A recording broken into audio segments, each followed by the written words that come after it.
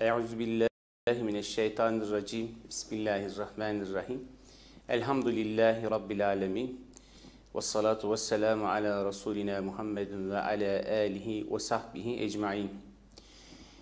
Kıymetli izleyenlerimiz, okunmuş olan 9. cüzün mesajlarını şimdi aktaracağım sizlere inşallah.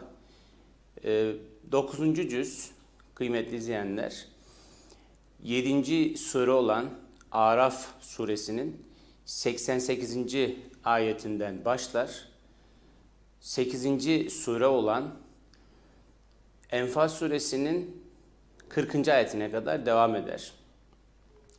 Tarihin en önemli dönemleri kuşkusuz peygamberlerin e, yaşadıkları asırlardır. Çünkü onlar tevhid ve şirk mücadelesinde müminlerin önderleridir. Allah'ın Rab ve hakimiyet sahibi olduğunu bütün dünyaya tebliğ eden ve insanları dünyevileşme tehlikesinden koruyan kişilerdir.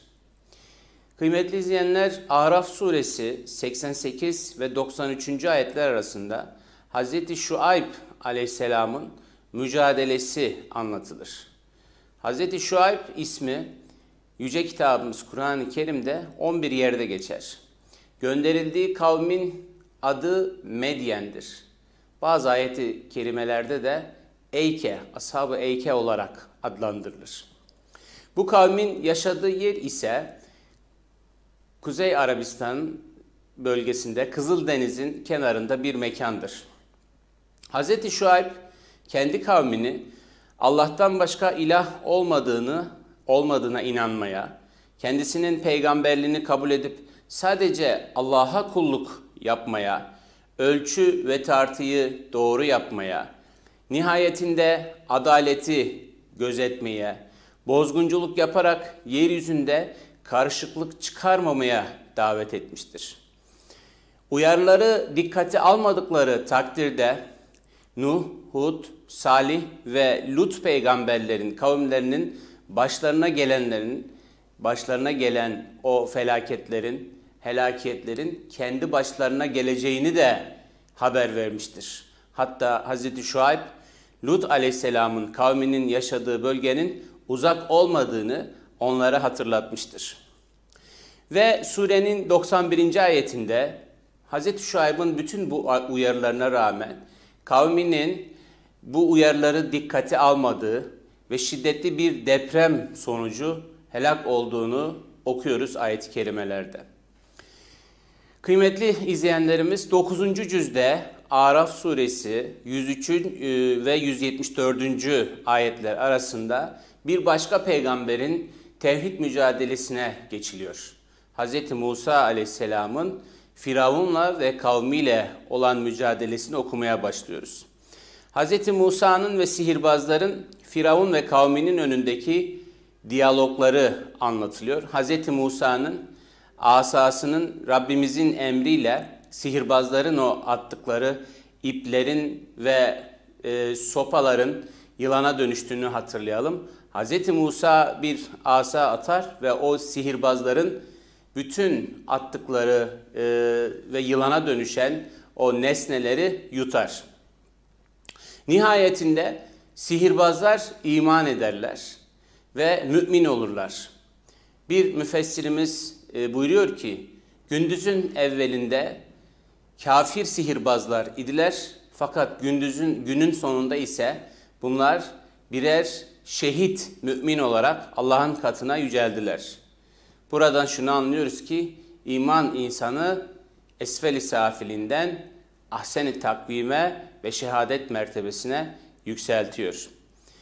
Kıymetli kardeşlerim bu ayetlerin devamında yani Araf suresinin 130 ve 136. ayetler arasında Hz. Musa'nın ve ashabının Firavun'un zulmünden kurtulma çabaları ve hicret talepleri, o dönemde yaşanan yine kıtlık, tufan, çekirge, haşere, kurbağa ve kan yağması gibi belalar sonunda Firavun'un Hz. Musa ve ashabına hicret için izin vermesi, Sonrasında e, sözünden dönüp ordusu ile Hz. Musa ve ashabını takip etmesi ve sonunda nihayetinde ordusuyla beraber denizde boğulması anlatılır.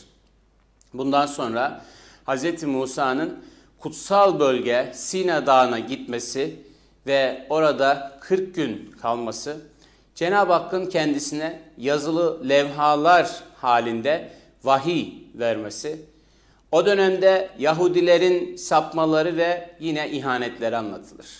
Mesela denizi geçerek Firavun'un zulmünden kurtulan İsrailoğulları daha kurtulur kurtulmaz puta tapan bir kavim görünce Hz. Musa'dan bir put yapmasını istediler. Hz. Musa ise onlara büyük bir cahillik yaptıklarını söyledi ve nasihat etti. İsrailoğullarının ikinci ihanet ve sapmaları ise yanlarından 40 günlüğüne ayrılan Hazreti Musa'nın e, Musa'dan sonra hemen altın, gümüş ve mücevherlerden bir buzağı yapıp tapmaları oldu. E, sure Ashab-ı Sebt ile devam ediyor kıymetli kardeşlerim. E, Araf suresinin sonlarına geliyoruz. Yani ashab-ı sebt nedir? Cumartesi ashabı. Ee, burada cumartesi ashabı denilen yine Yahudilerin e, anlatıldığını görüyoruz. Onların hilelerinin anlatıldığı ayet-i kerimeler karşımıza çıkıyor. Cenab-ı Hak hatırlayacak olursak onlara balıkların akın akın geldiği cumartesi günü avlanma yasağı koydu. Ee, onlar ise kendilerince bir hileye başvurdular. Ee, büyük havuzlar e, inşa ettiler ve cumartesi gelen o balıkları daha sonra o havuzlara sevk ederek pazar günü avladılar. Böylece kendilerince cumartesi yasağına uymuş oldular. Fakat fakat bunun bir hile olduğu apaçık belliydi ve bu yasağı delmelerine karşı Cenab-ı Hak onları aşağılık maymunlar olun şeklinde emirle maymuna çevirmek suretiyle helak etti. Bu cüzün ikinci bölümünde ise Galu Bela olayı yani Rabbimize olan ilk ahdimiz hatırlatılır. Elestü bi rabbikum galu bela. Ben sizin Rabbiniz değil miyim? Evet ya Rabbi sen bizim Rabbimizsin şeklinde insanın Rabbimize vermiş olduğu o ilk ahit hatırlatılır. Devamında ise daha önce değerli bir kişi iken ilim sahibi olan, sonra ise Allah'ın ayetlerini inkar ve yüz çevirmek suretiyle sapan bir kişiden bahsedilir.